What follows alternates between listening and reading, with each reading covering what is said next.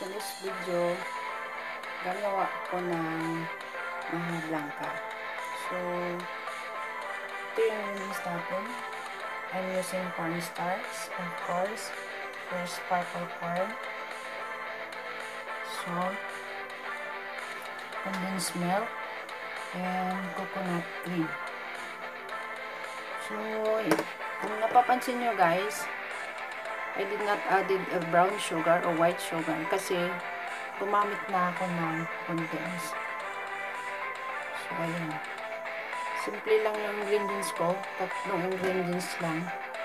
Yung bibilin sa market. Optional sa'yo kung lalagyan mo ng cheese toppings. So, ayan. So, ako, I prepared na hindi siya masyadong matamis. Ito yung ingredients ko.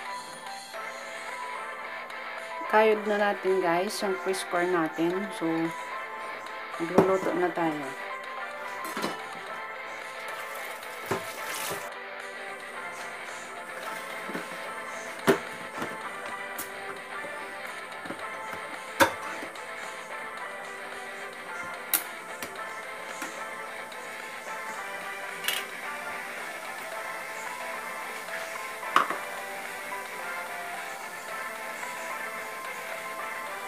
This is the cream, coconut cream. Lalagyan na natin.